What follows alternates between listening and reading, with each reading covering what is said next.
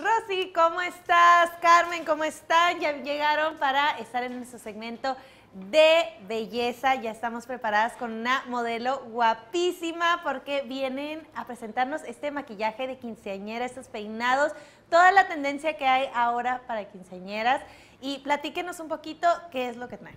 Mira, ahora traemos una, una quinceañera, ¿sí? Y lo que vamos a hacer es, muchas mamás a veces no pueden o tienen el sueño de peinar a su hija, ¿sí? Entonces estamos trayendo un peinado que aparentemente es muy complicado, pero es súper sencillo. Y lo que es un maquillaje, pues como todos vemos, un maquillaje de quinceañera no se, debe de ser muy cargado. Yo les explico rápidamente lo que el peinado lleva. Sí, Primero el peinado. Dale la vuelta. Mira, aquí el peinado, cuando nosotros tenemos nuestras hijas con el cabello largo y lo que es parejo, nosotros tendemos a hacer tres coletas, para que se vea el tipo de, como, cascada, ¿sí? Porque si no hacemos este truquito, lo que hace es que se vea el rizo parejo abajo. Entonces aquí son tres coletas, en las coletas se hacen unos pequeños nudos para sostener el rizo y lo demás lo pueden rizar como ustedes quieran, ¿sí? Ya sea con pinza, con plancha, hay varios tipos de, ahora sí, de herramienta. El rizo ya que tú prefieras, hay unos que son un poquito más cerraditos. Estos son los que a mí me gustan, que se ven más, eh, no despeinados, pero sí como un poquito más suelto, más casual. Ese es el que me gusta, como el que le hiciste a, nuestra modelo. Y las trencitas, ¿no? Que no sea un peinado tan tradicional, que no sea un peinado que todas las quinceañeras traigan, que sea algo diferente, ¿no? Que sea algo diferente. De hecho, ahorita yo este, les sugiero que para no, que no hagan trenzas, hagan nudos, ¿sí? En esta parte aparentemente se hacen ver como si trajera unas trenzas. Son unos pequeños nudos que se van trenzando, nudo con nudo, y lo que hacemos es acomodarlo. Entonces ya que tenemos nuestros rizos, vamos acomodando de manera que se vea como cascada para que la chica no se vea tan plana. Me gusta, me gusta el peinado. Y ahora, Carmen, yo te voy a detener el micrófono para que nos digas más o menos cómo vas haciendo el maquillaje, para que bueno, ahí el. Sí, mira, la tendencia que marca ahorita en el 2016 en quinceañeras es un maquillaje más tenue.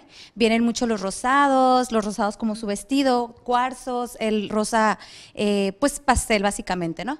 Eh, su tendencia aquí que aplicamos es uh, rubor, en rubor un melocotón, rosadito, algo que, las, que, se vea natural.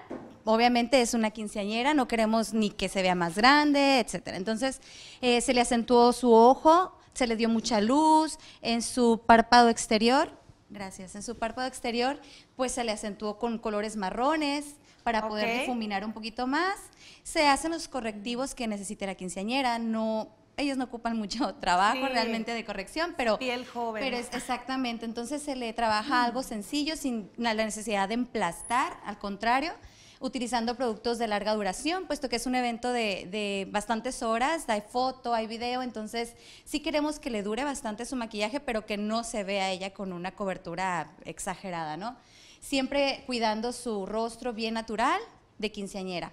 Y los labios, en este caso, como su vestido ya es rosa, los vamos a poner en tonos melecotones, duraznos, rosaditos, pero bien naturales. Para que no se vea, para que se vea el contraste más y no entre su vestido. No se sobresature su, su color, ¿no? Eh, básicamente también hay un ah, trabajo de contour, es ligero, no es un contour, no se trabaja un contour como, como lo haría para mi persona o, otro, de noche con otra persona más mayor. Entonces, igual, la ceja es muy importante. Debemos de manejar una ceja bien natural, el crecimiento que ella tiene ahorita en su edad y la forma, exactamente. Entonces, bueno, básicamente es eso. Está natural. ¿Y qué recomiendan, por ejemplo, a las quinceañeras que llevan el tradicional vestido blanco o colores más claritos, que a lo mejor este es un rosa, ¿no? Un rosa en el que puedes resaltar un poquito más la niñez, esta transición, pero hay muchas personas que todavía tienen la tradición de llevar el blanco. ¿Qué colores en el rostro podemos llevar en esta ocasión? Pues ahí sí que los blancos nos dan muchos colores, ¿sí? Sí nos basamos mucho lo que es mm. el, ahora sí que el contorno que va a ser la fiesta, los colores que van a manejar la fiesta, pero ahora sí que sin marcarlos tanto en la piel de una jovencita que no lo requiere mucho. Entonces, si vas a llevar un vestido blanco, pues igual puedes por llevar un rosado en lo que es en tu rostro, un moradito ligero, un lilita, que son los colores para las quinceañeras. Ahorita sí hay muchos colores que se están manejando en quinceañeras muy, muy fuertes.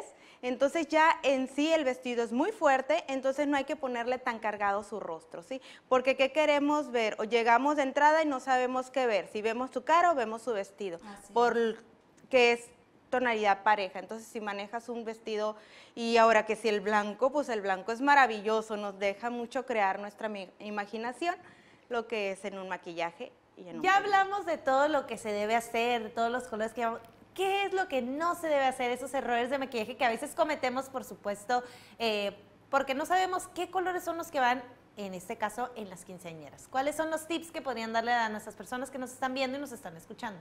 Ok, y el tip que mm. podemos dar es lo que no se debe hacer. Lo que no, lo, que no se debe hacer. Ok. No contornear mucho a la quinceañera. Ok. ¿Qué, ¿A qué te refieres con contour? Ok. El contour lo maneja ahora sí que la niña. Aquí mi, mi compañera. Yo le tengo de ese lado. Por ejemplo, nosotros, el contour es una técnica de visajismo, es un visajismo para acentuar o eh, expandir algunas facciones. En este caso, por ejemplo, ella tiene un poquito sus maxilares ah, un poquito más extensos que su frente, entonces lo que vamos a hacer es disimularla un poquito esos maxilares para que quede como crear el entorno de su cara sea ovalado. Siempre se busca tener ese tipo de, rostro, un poquito más ovalado, tratar de emparejarlo.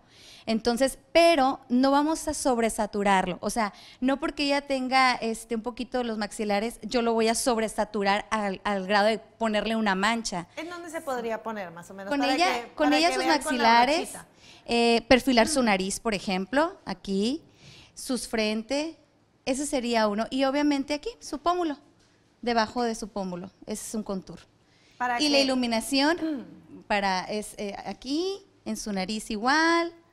Para resaltar, ¿no? Que son los colores claros los que resaltamos. Nada más no hay que hacerlo muy marcado. No. Muy marcado en una. Que sea clarito, que sea discreto, por supuesto, por la ocasión. Y lo más importante, que la quinceañera también se sienta cómoda, ¿no? A veces nosotros como familiares opinamos, es que nosotros queremos que le pongan aquí, que le pongan acá, pero también es importante que les preguntemos y qué tipo de personalidad también lleve la clienta, ¿sí o no? Claro que sí. A considerar igual los puntos como dices, uno es que sea la quinceañera ella misma. Claro. como dices, es que se sienta cómoda elegir los tonos que ella sienta cómoda, no sobresaturar los tonos de su vestido con el maquillaje.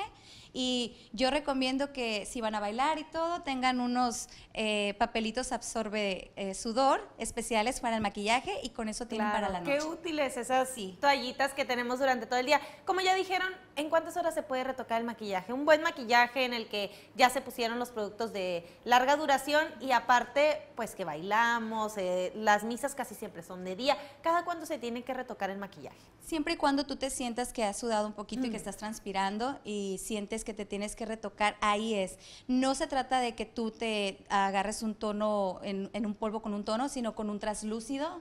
Eso lo puedes hacer.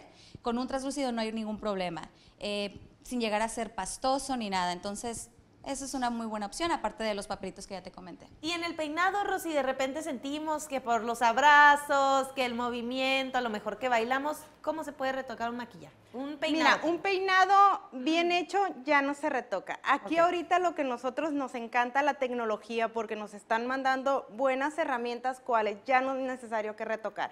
Hay productos muy buenos que también eso, eh, eh, a ella este peinado igual no se lo hice con un producto muy marcado ¿verdad? Pero yo te puedo asegurar que este peinado se van a dar lo que son las 8 de la noche y lo va a traer. Ah, muy bien. Es lo importante, ¿no? Sí. Y de este lado vi que le pusiste un tocado. A ver, ¿te puedes claro que sí. Aquí le dimos el, ¿Qué accesorios también ya se están usando, que son tendencia, que ya antes se usaba en mi tiempo, se usaba la, coronita y ahora ya se usa el tocado atrás que ya les tocó a mis hermanas. ¿Cuáles son los accesorios en tendencia? Pues los accesorios en tendencia son ahora sí que mucha piedrería, mucha piedrería y no tan enfrente, ¿sí? Porque es lo que te digo, o sea, si yo volteo y la veo a ella y la veo, la veo su maquillaje y veo esto, o sea, no sé cuál de las cosas voltear a ver. Entonces, el, ahora sí que la tendencia no es que traigamos la coronita enfrente o un, lo que es un tocado casi enfrente, ¿sí? Porque va a opacar Más atrás. mi maquillaje o mi peinado. Entonces, siempre hay que buscar lo ligero, pero se está usando mucho la piedrería. Me gusta, ¿eh? Me gusta. Se ve muy bonito porque al momento de voltear ahí ya vemos, es como el toque que le damos. Muchísimas gracias, chicas, por traernos estos tips, todos estos consejos para los maquillajes de quinceañera, para todas las personas que tengan esta fecha especial. Compártanos sus números de contacto. Pues mi número de contacto es 664-331-2671 y me pueden encontrar en Facebook como Díaz Rossi. Y mi contacto es en Facebook, es Makeup by Carmen Cos. Mi teléfono es el 664-115-4175 y en Estados Unidos 619-386-3334. Muchísimas gracias, chicas, por compartir estos tips con nosotros en la sección de belleza. Vamos con Ángel.